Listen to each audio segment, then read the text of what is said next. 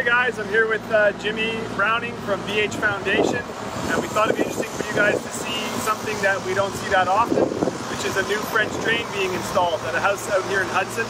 Uh, for a lot of you that uh, maybe don't understand what a French drain does or what it is, I was going to ask Jimi if he could maybe explain a little bit. Jimi, give our viewers a little bit of an idea of what a French drain is and uh, why you would have to replace one. A French drain usually, so you have your foundation wall, the foundation sits on a footing. Your footing's about 12 inches thick.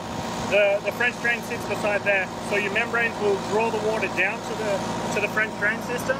Uh, the reason being is because obviously your foundation is dug into the ground, which means in some areas you'll be inside of the water table.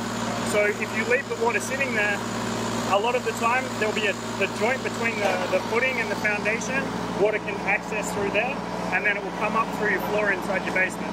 Other ways you can get in is cracks of windows or any points along the foundation where you can get a crack, water can uh, come in through there. So doing the, the membrane in the French drain system keeps the water down in the area, one, and two, it, it reinforces and keeps everything dry so that your basement can stay dry and you can have a finished basement like this one. So we dig all the way down to the footings, we install a French drain down besides the footing, we put membranes on the wall, we fix any cracks, reinforce anything, make everything uh, better than it was in the view. Uh, and then we uh, put gravel on top of the drain, geotextile, and we backfill it.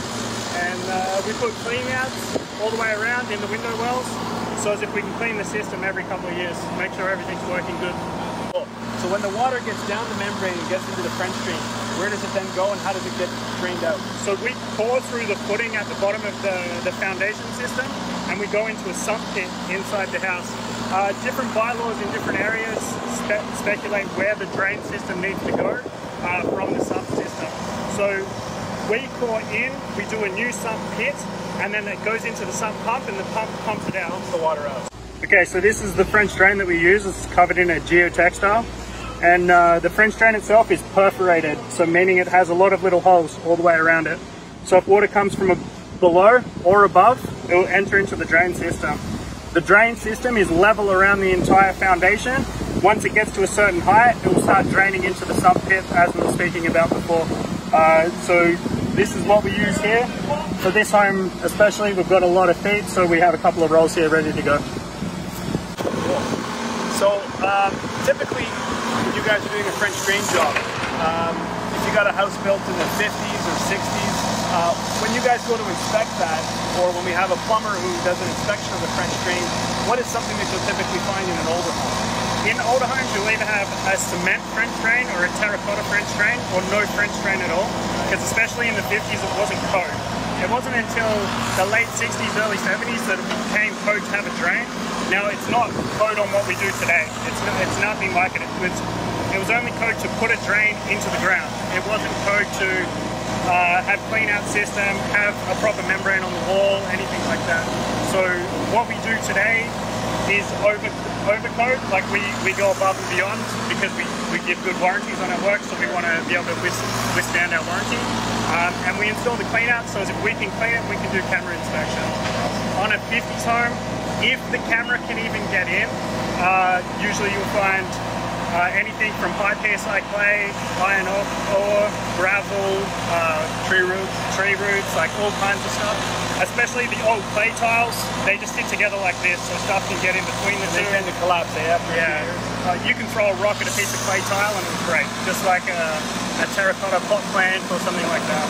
So the most important thing, basically, uh, if you're protecting with a French drain system, is a dry basement, right? Yeah, so you're protecting the foundation of the home, one, uh, because water keeps coming into the, through the foundation it can cause more cracks in the foundation, and it can start to cause shifting, uh, which can cause more issues in the future.